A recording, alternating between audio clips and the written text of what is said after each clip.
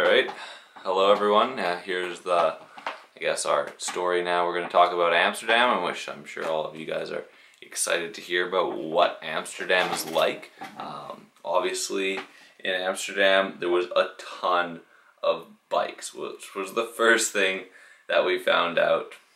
pretty much right away, is that everyone bikes. Everyone from the age of like 65 to 5 years old, anywhere in between, bikes on these bikes, commutes it around, and they use them as commuter vehicles versus the North American style of looking at a bike as more of like a recreational uh, utility style of vehicle. Uh, that's how they look at it. They have big compartments on the side of their bikes that allow them to bring their files to work and their you know athletic gear to the soccer practices and whatnot. And it was super cool to see uh, a, a large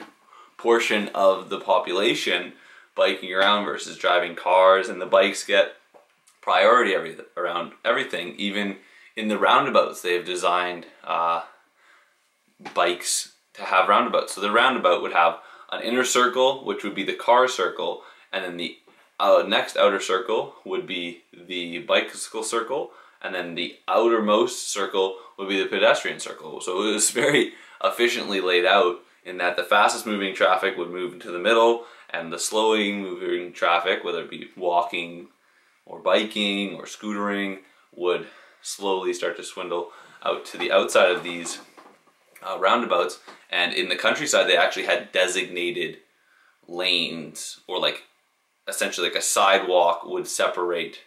the car area from the biking area and then another median would separate the biking area from the walking area, which I thought was super interesting. Um, so I guess the next thing we're going to talk about, other than biking around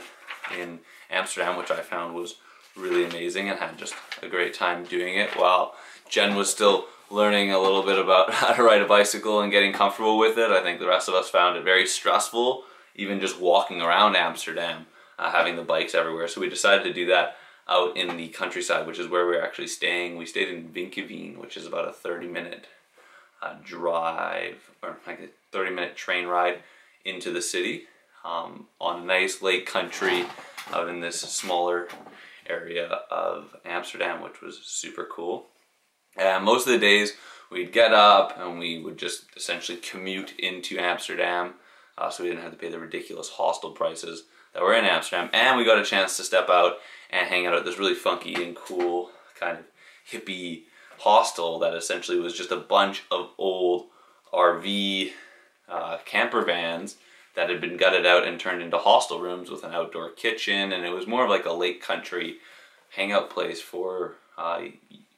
youth people, young adults and youth people to come and hang out. And we were there not during the peak season, this was just the beginning of May. So it was, weather wasn't perfect all the time so it wasn't super busy but we definitely got some really nice days out there. And it was an absolutely phenomenal experience. Uh, so obviously we went into the city and we did try the Amsterdam specials, the, the brownies and the edibles and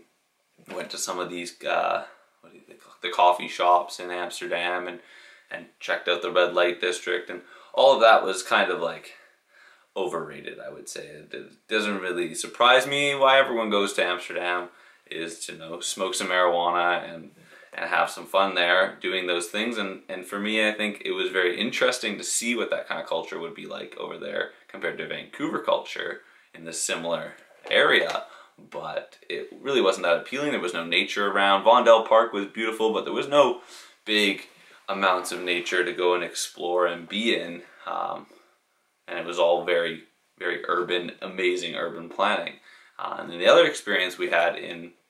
Amsterdam, which Jen, Mitch, and Lisa unfortunately didn't uh, participate in, was trying out some of their magic truffles, which was essentially their version of like psychedelic mushrooms in uh, Amsterdam, which is actually also a legalized drug that they've started to allow tourists to experiment with over there, which was really fun because we got to, to buy some of those, take those back out into the lake country, and we had a great day out in the lake country. It was blue sky, it was your typical fluffy uh, clouds, and we just got to hang out on this man-made lake where they had these uh, lake developments on the man-made lake in, in Netherlands. Then they had uh, obviously there was no it didn't seem like it was a very high power motor was allowed to be on the man-made lake, so you could use like a small boat to commute here and to and fro. And then they also had these nice big uh, complex development, kind of like a townhouse that was built into the lakefront country um, side, which was absolutely phenomenal. So you sit there and you go, okay, I don't, I wasn't sure if there were these were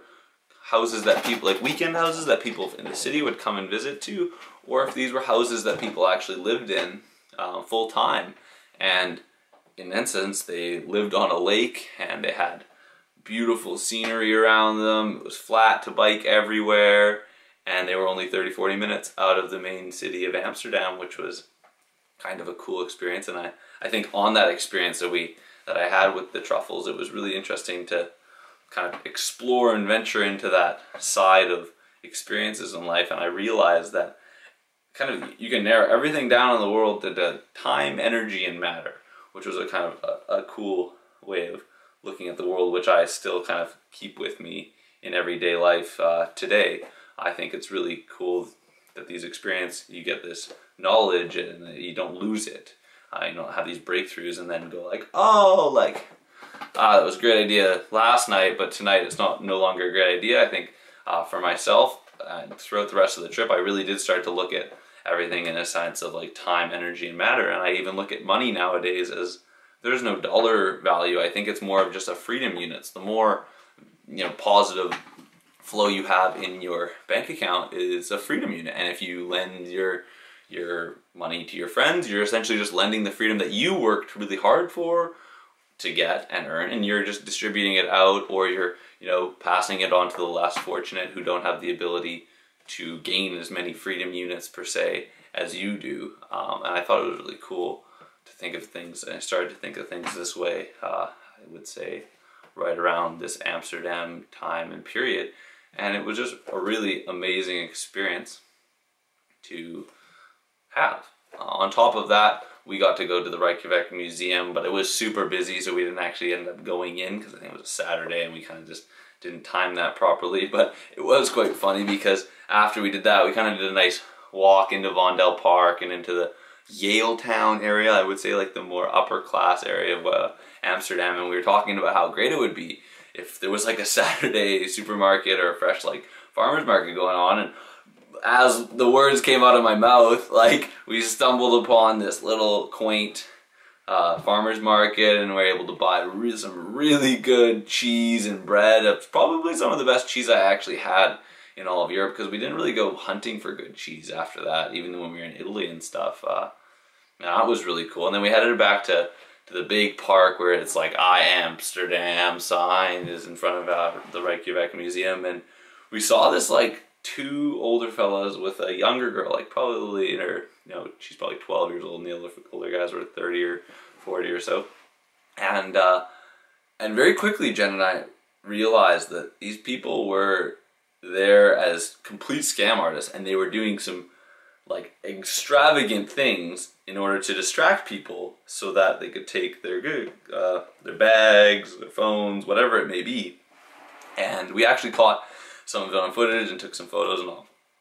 Obviously there's some of the photos there